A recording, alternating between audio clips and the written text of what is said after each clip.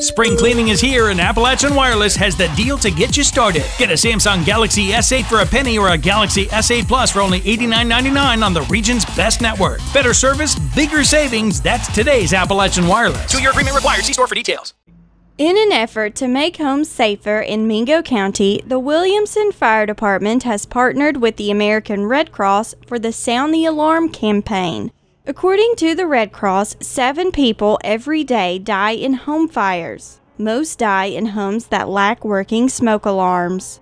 Fire departments across the United States, including Williamson, are canvassing at risk neighborhoods, installing free smoke alarms, replacing batteries in existing alarms, and providing fire prevention and safety education.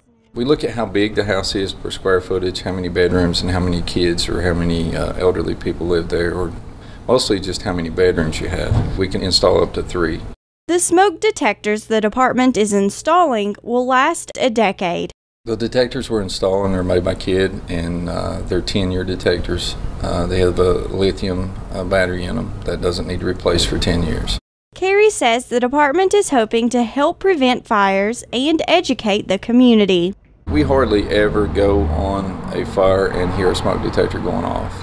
So either one, the battery's dead, or they just don't have any. We find out that a lot of homes still don't even have one smoke detector in them. So that's why I feel like it's really important that people take advantage of, of what we got. I mean, these detectors are $15 a piece, and we're offering them free and we're installing them. Information or to ask the fire department to install a free smoke detector, contact the number listed on your screen. In Williamson, Shelby Porter, EKB News.